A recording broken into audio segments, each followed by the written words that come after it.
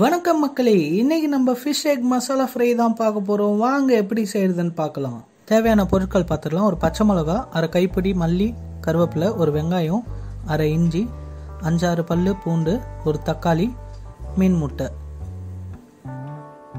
இஞ்சி பூண்டு வெங்காயம் பச்சை மிளகா கருவேப்பிலை மல்லி இது எல்லாமே ஃபைனாக சாப் பண்ணி வச்சுருக்கோம். ஒரு தக்காளியும் சாப் பண்ணி வச்சுருக்கோம். ஒரு கடாய் எடுத்துக்கலாம். ரெண்டு டேபிள் ஸ்பூன் நல்லெண்ணெய் ஊற்றிக்கலாம் காயட்டும்.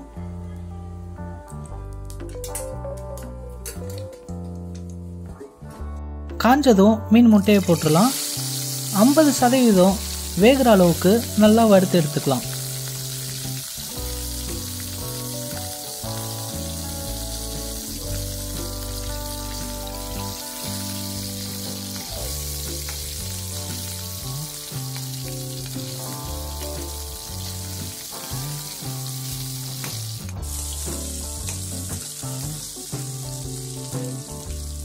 பாதி வெந்துருச்சு.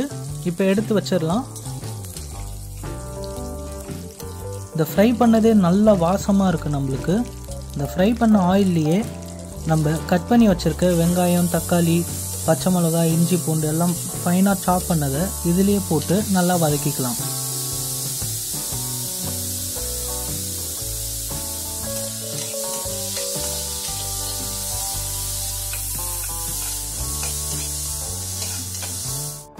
நல்லா வதங்கினதும் தக்காளி சேர்த்து இன்னும் கொஞ்சம் வதக்கிக்கலாம்.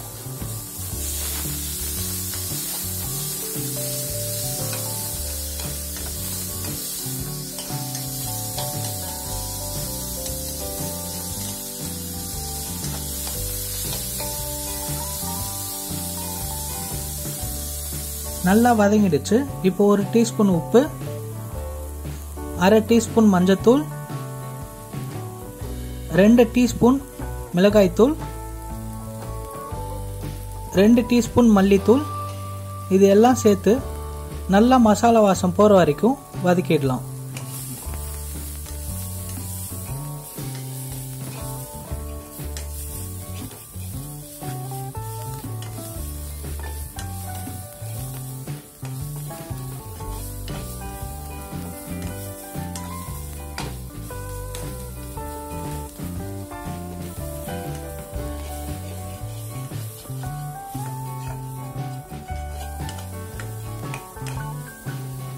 இப்போ நமக்கு மசாலாவாக வேணுங்கிறதுனால கொஞ்சமாக தண்ணி ஆட் பண்ணி நல்லா கொதிக்க விட்டுடலாம் வேகட்டும்.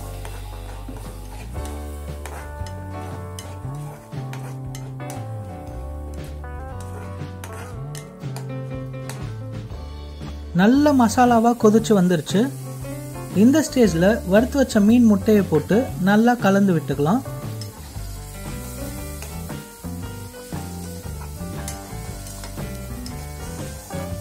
மசாலாவோட நல்லா வெந்ததும் இறக்கிடலாம்.